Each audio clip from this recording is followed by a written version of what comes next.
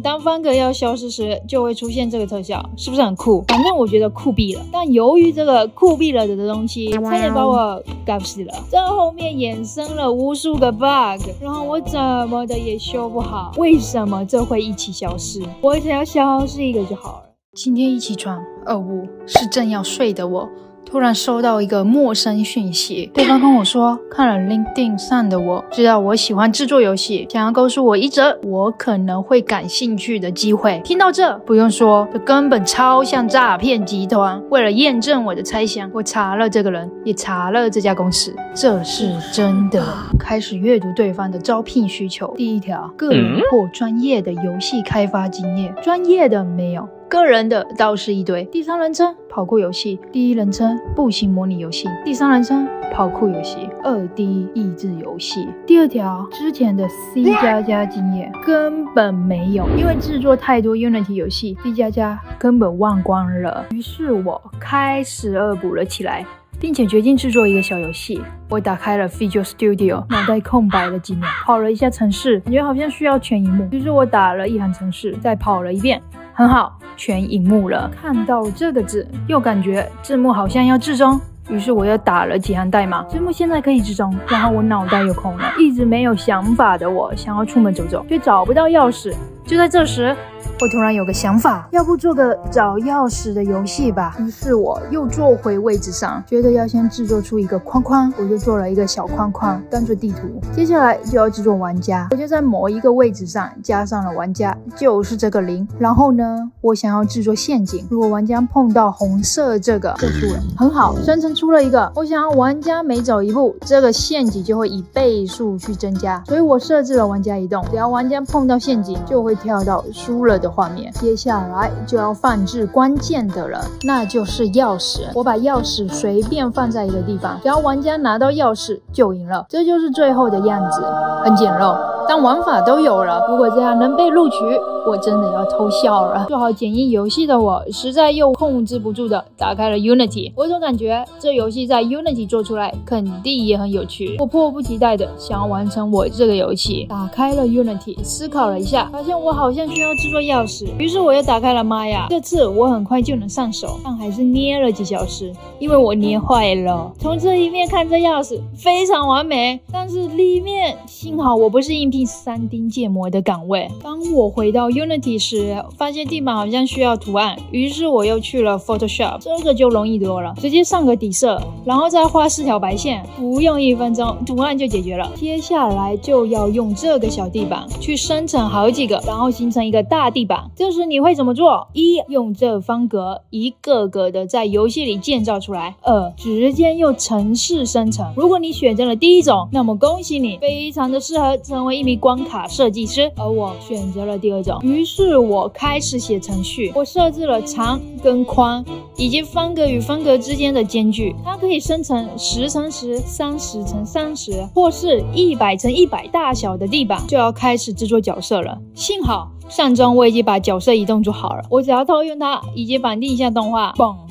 角色可以移动了，接下来我要生成钥匙了。因为在生成方格的时候，我已经把每个方格都存入资料库了，所以我只要用这个随机数，然后让钥匙生成在其中一个方格就可以了。而玩家只要到了钥匙的方格，就跳转到获胜的界面，万事都具备了。现在就要来让地板消失，玩家每走一个方格就会以步数去消失。第一步。消失一格，第二步消失两格，以此类推，这样才刺激。但因为在测试的过程中，我发现了一个 bug，就是当钥匙生成在我脚下时，我直接获胜。于是我把玩家也一起随机生成了。钥匙跟玩家怎么的生成，肯定遇不到一起，但是会出现在旁边。那只能说你运气爆好，快去买一个什么？因为这游戏就是要让玩家掉下去，然后一直玩，所以接下来就要制作，当玩家不慎跌落时，就重新开始游戏。玩家家。不管怎么的掉落，就会一直不断的开始。只要玩家不通关，我就会很开心，因为地板消失的太丑了。于是我又制作了特效，当方格要消失时，就会出现这个特效，是不是很酷？反正我觉得酷毙了。但由于这个酷毙了的东西，差点把我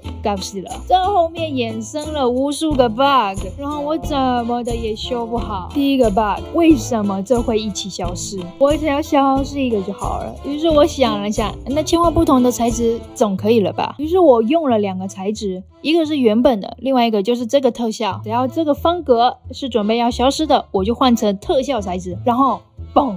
消失，消失是消失了，但只是皮消失了，这感觉有点像你人皮没了，然后只留了个骨头。于是我又想了想，那我在消失后把它删了不就好了？理想很美好，现实又给了我打击，确实是消失了，那旁边的皮却无缘无故没了，这有点像是你皮没了，然后消失了，但你不甘心，偏要在消失之前把你朋友脱了一层皮。想来想去，就是我资料库处理的不好。当我在测试。是第三个关卡时，这个 bug 又来了。这被脱了层皮的朋友骨头还在，所以玩家可以在上面行走。果然，逃避的事情还是要解决。在解决的过程中，我的特效不会出来了，我的地板不会消失了，然后我的地板全消失了。就当我以为要成功时，地板突然又消失了。总之。在我的努力之下，最后是成功了，但是特效消失的有点快，不过没关系，至少都能正常运行了。接下来就是制作 UI 了，玩家按下 ESC 就会跳出选单以及胜利的界面。因为前面花了大量时间，隔天又要面试，我的 UI 界面就随便用了点。嘣，游戏已经能正常运行了，当然是假的。当我要进入到下一关时，角色会突然动不了。为了让玩家感觉电脑没问题，我又加入了这个界面。只要玩家一通关或者是不慎跌落时，这个界面就会跳出来告诉你游戏正在加载中。这界面非常重要，这是不加的感觉，这是加了的感觉，是不是非常的重要？至少我知道游戏没崩溃，都设计好了之后，这是最后成果，花了十三小时左右制作的游戏。好，现在我们是第一关，然后我可以正常移动，然后那边有有风格已经消失了。可以往前移，哎，有方格消失，再往前走，有方格消失，简单通关。嘿，OK，那这是第二关，方格在那边，我们就要朝着它跑过去就可以了。然后非常的无聊，我也看不到方格有没有消失，反正它它总会消失的。